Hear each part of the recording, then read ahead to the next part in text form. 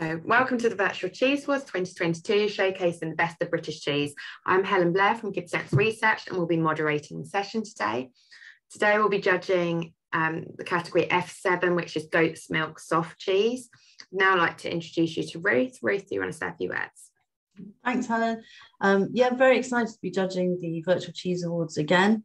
Um, and I am the retail manager at the Newt in Somerset so I managed the farm shop and the house and garden shop here in the beautiful grounds. Uh, before that, I was head of wholesale for Paxton and Whitfield, uh, based in London. So very excited to be in Somerset now and judging all these lovely cheeses. So Ruth will be um, using a point system for the scoring that's based on five different attributes and the winner will be the cheese with the most points and we'll go forward to the best of the category stages. So the first cheese that we have is so the category, sorry, the attributes that we score on are appearance, aroma, texture, flavour, and then how true the cheese is to character. So the first cheese is F71039.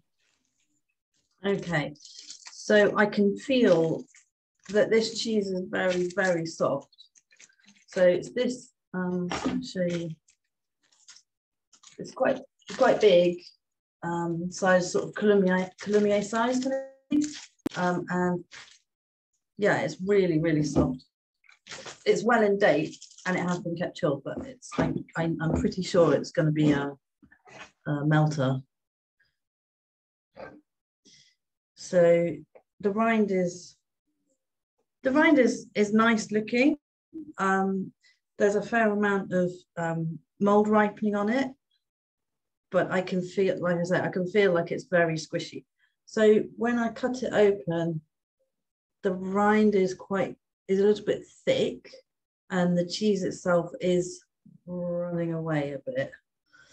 Um, so appearance wise, or rather, I suppose it's texture wise, really more um, texture.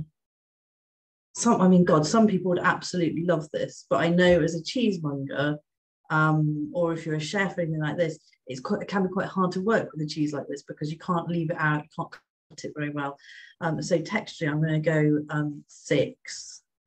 Um, appearance is it is actually very nice, um, but the cheese is running away a bit when I open it. So uh, let's say seven. Um, I'll just take, God, it, it is really, really soft. So I should have got some crackers. Oh.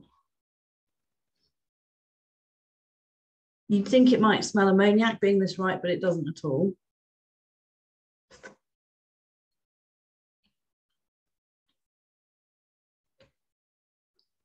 Hmm. So that's very nice. Um, it's, it's not overripe, despite all the appearances to the contrary. You're definitely getting some farmyard off it, but not in a bad way. It's kind of farm gate rather than you know, silage. Um,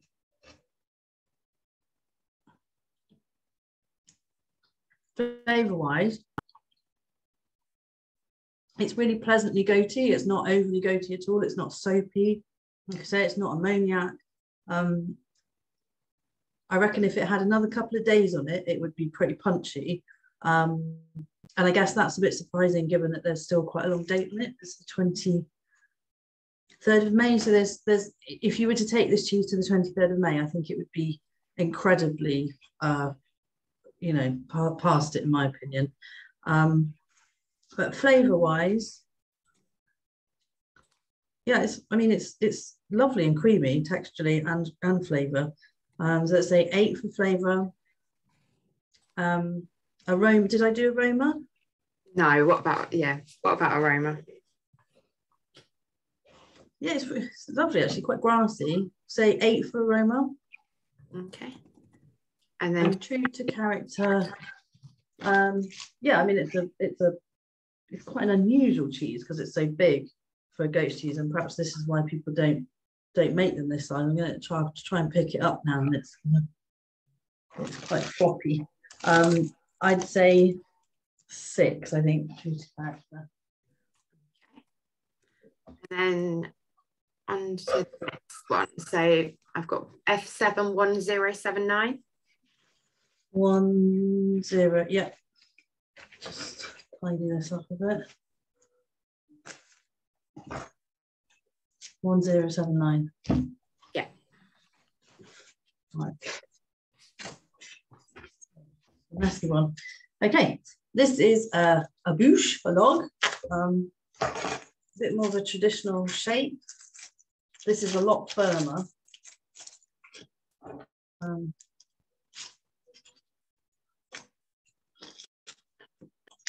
Okay, well wrapped, good for traveling. So quite a generous log. Um, lovely in white and velvety around the outside. Uh, it's evenly ashed, it's evenly molded. It's a good shape.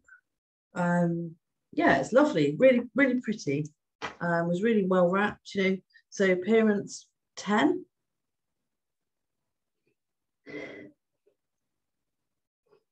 Not much aroma on the rind. Let's have a little look.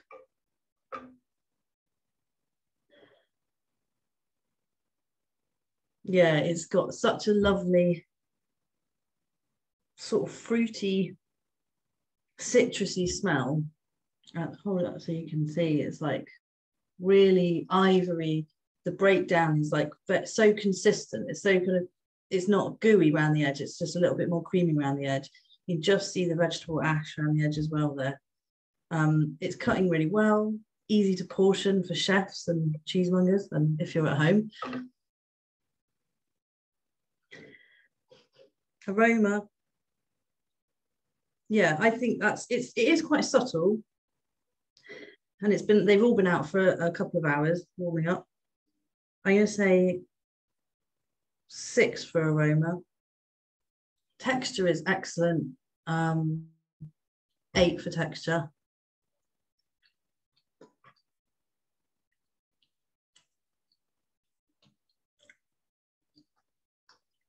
Mm. There is just so much going on with that. That is such an amazing cheese to pair with things. It would be amazing with sparkling wine with perry, with you know a fine a fine cider, a dry white, Pinot Noir. It just it's so sort of lively and yeah, summery, I guess, springy summery. Yeah, really like that. Flavor, I'd say 10. True to character, yeah, I think it's really true to character. Um, I guess maybe you'd want it a touch softer. Um, I quite like it like that, but I'd say nine.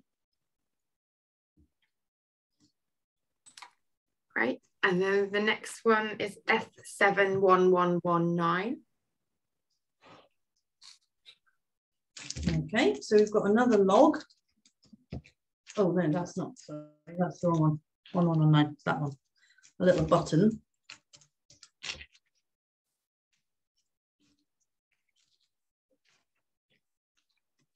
This one feels a bit softer.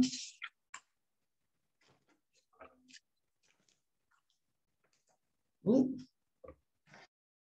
So this one is a little bit, so there it is. So it's drier on that side and a bit wetter on that side. Um, I would say it's not looking absolutely peak perfect. Um, so probably, well, let's have a look inside. The rind, the rind smells amazing. Again, you might expect if a cheese is that ripe to smell like it's kind of over the hill, but it absolutely doesn't. Oh God, that smells really good as well. That.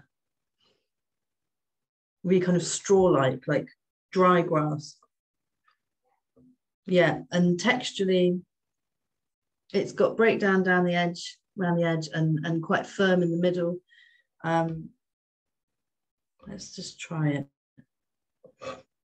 It's gone. It's gone fairly goo again, like the other one, but not as bad.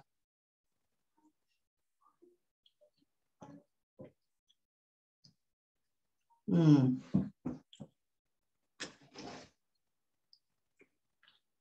Mm, yeah, that's really good.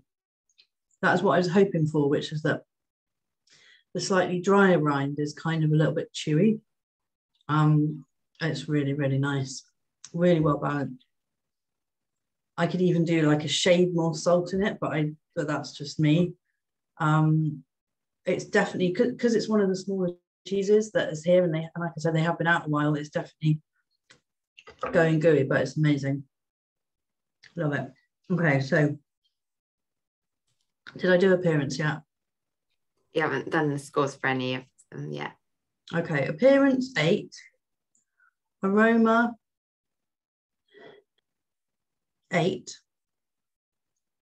texture nine, flavor 10, true to character 10. This is, it's quite an unusual British goat's milk cheese, that, that sort of style and size. There's not many around like that. So, um, yeah, more in the sort of French style. Yeah. And the next one we've got is F 71199. Oh, okay, this is the other log.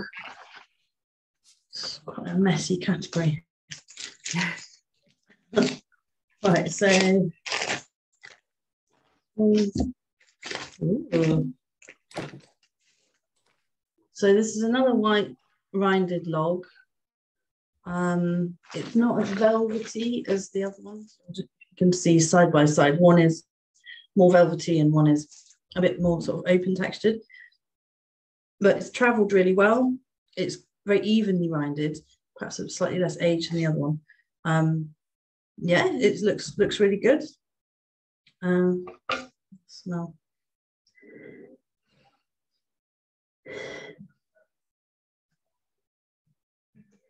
Yeah, it doesn't, it smells slightly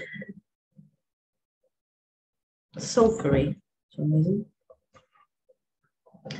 Okay, so inside, it's cut a little bit unevenly actually. There's a bit um, sort of come out of there and I've just done that.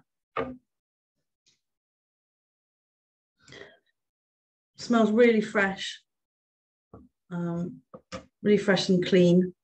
It's a, it's slightly younger, I think, than the other ones. It's it's still a little bit sort of not chalky is the wrong word. Um, just sort of fresh and moussey.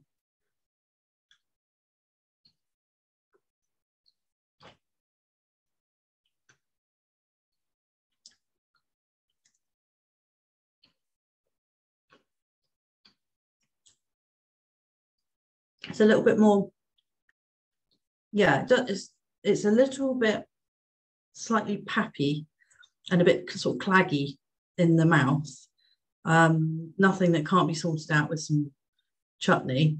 Um, but yeah, it's just a little bit claggy, a bit younger. That said, there's a lovely sort of clotted cream quality about it. You see, it's just slightly more open textured in the middle. Um, yeah, a bit slightly sort of yogurty aroma. Um, so I'd say appearance is nice um, eight. Um, tractor. Um, aroma is a little bit is a little bit uninspiring. It's not unpleasant. I, six. Texture again is just it's really pleasant, but it's not sort of blow you away. I, I'm going to say seven. And flavour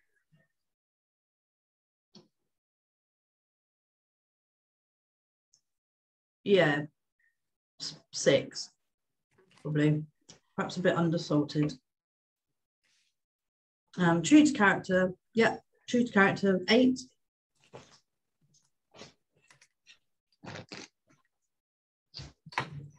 And the next one I've got is F7 1 200. 1200. There's another log. This one is ashed. It's quite wet. So we can see where it's sort of caught on the paper. It's like a bit squidgy. Um, so it it, it does it looks so young that the rind hasn't formed properly. Um, yeah, which is affecting then when I pick it up, my fingers go through it. Yeah, I mean, it, it smells, I think, similar sort of age to the one I've just tried. I'm just getting that same sort of, you know, yogurty lactic flavor um, aroma, sorry, that's very pleasant, but it's not not particularly exciting.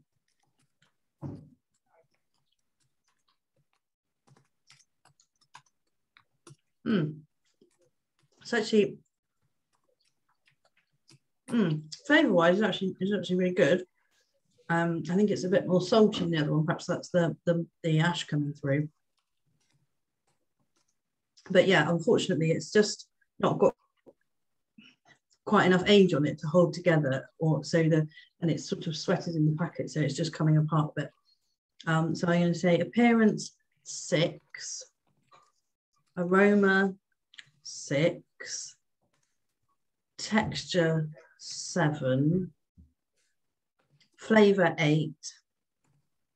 True to character well it's not really doing that sort of ashed goat's log real full justice, I don't think. So um, let's say six for that.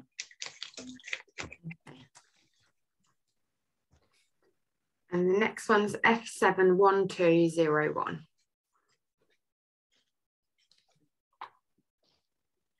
F71201. Yeah. Okay.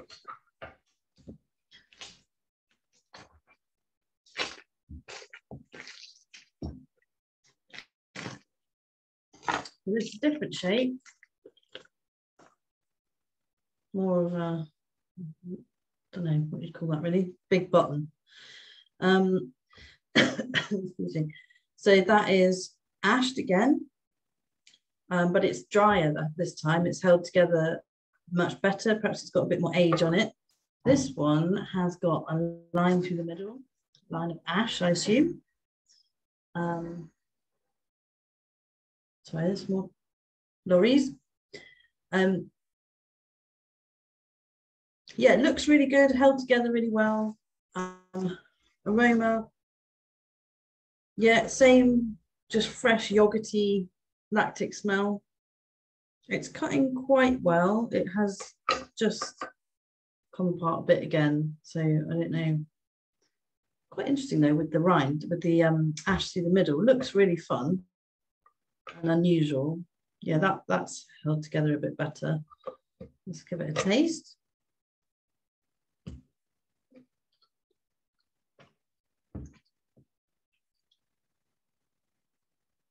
Hmm. Yeah, lovely clean flavour. Again, quite young.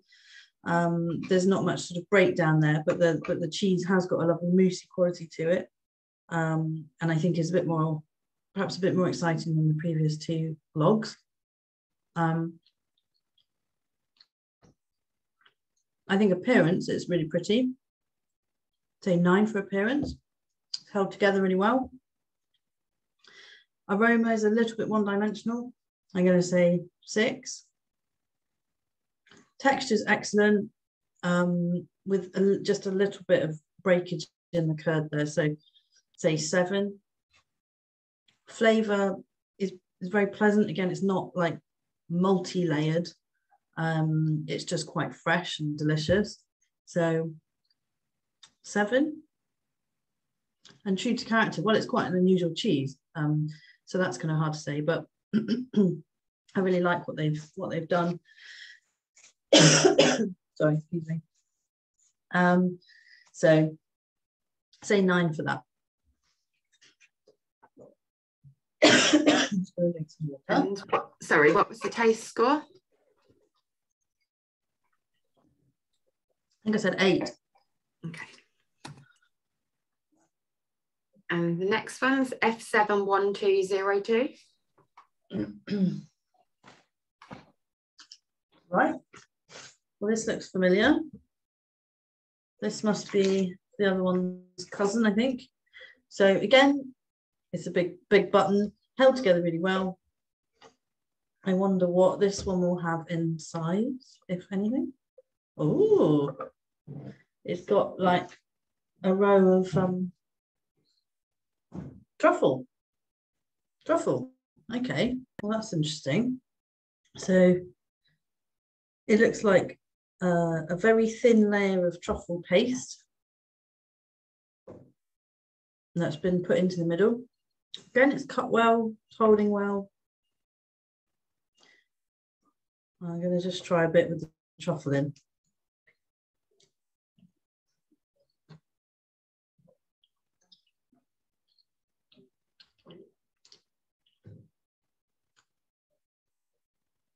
So a little bit dry.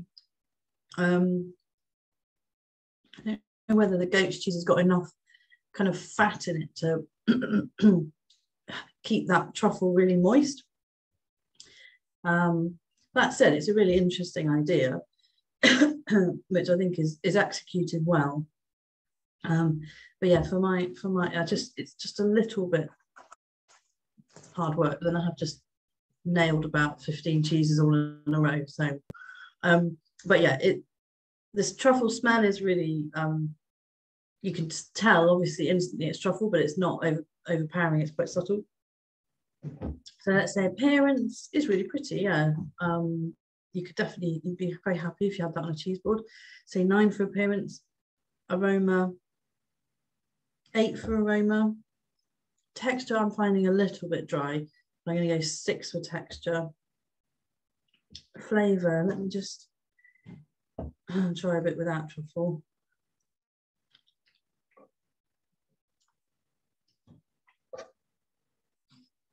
Um,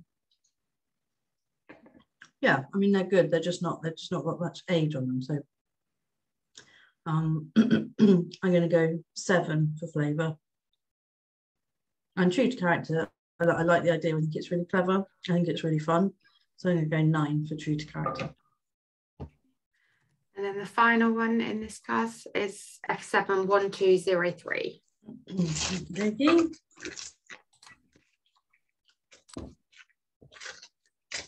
So it's another log.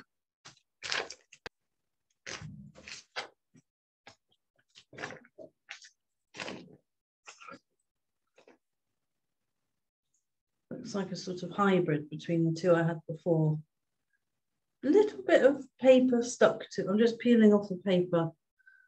So does happen.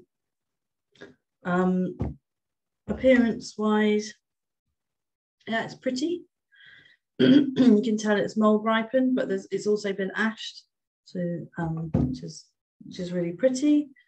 Um, it's held together well. It's not too wet, despite some of the paper sticking to it. It's quite quite fat, quite a fatty for a log.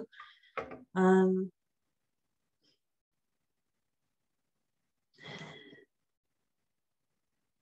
I'm definitely getting more of the rind smell than the paste smell. Those people who smell a lot of cheese rinds will know what that that mold ripened rind smells like. Um, it's also just around the edge, kind of just kind of pulled away from the edge a bit. I don't know. Slice it again. Yeah, it's just they've all got this slight sort of gappy curd structure where there's sort of holes. It's not unattractive, but I, I'm I'm just it just sort of a bit like um, a glacier with chasms in it. You know, it's just sort of fallen apart a bit. Anyway, um, let's see how it, yeah, it's just not cutting very well. Bits coming out of it.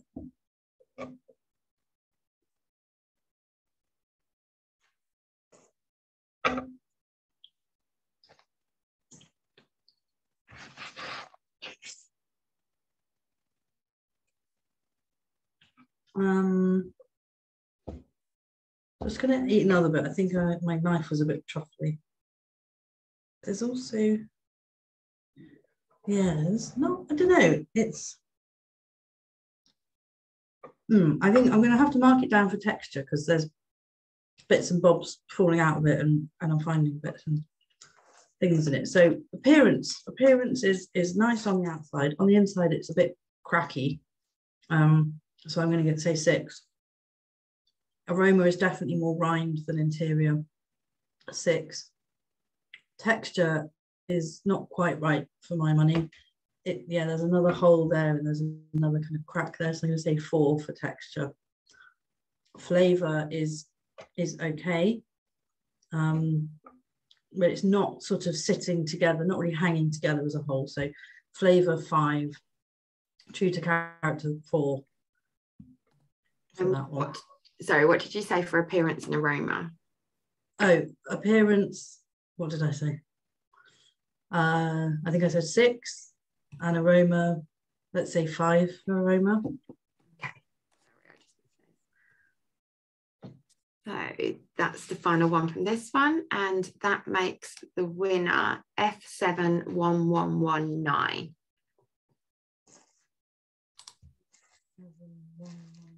Oh, yeah. Well, that's good because I'm glad it was that one because that was my favourite. So that one, that one by over two points, and then the runner-up was F71079. Yeah, yeah, both excellent. Some really good cheeses in that category. So um, thank you very much for judging. Um, we, the live event is um, on Friday, the 13th of May, and that's judging the best of, of the classes in the categories Best English, Irish, Welsh, Welsh and Scottish cheeses, along with the awards that recognise the talented and passionate people in the industry. They will culminate with the award of our Supreme Champion for 2020. We'd also like to thank our sponsors um, for the Judges Packs, South Caernarfon Creameries and Butler's Farmhouse Cheeses for our aprons. Many thanks.